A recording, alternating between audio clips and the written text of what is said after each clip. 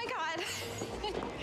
You're not gonna believe this. One of the guys at my precinct is working security at the venue tonight, and he was able to upgrade our tickets to VIP.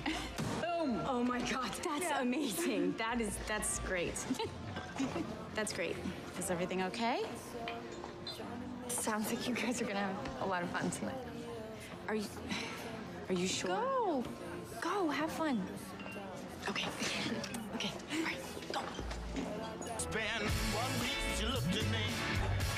Man, the last time I saw them, I think I was in college.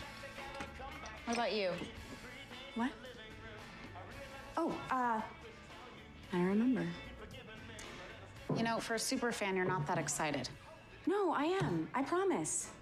Really? Because I've seen your face when you defeat a bloodthirsty alien. I know what excited Alex Danvers looks like, and this isn't quite it.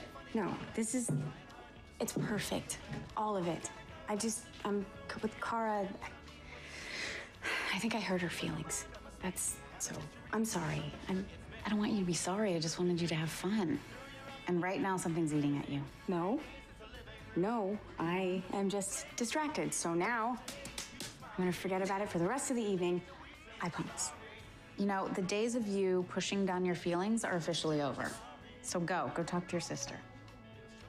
Really? Yeah, I'll meet you there. You are the best.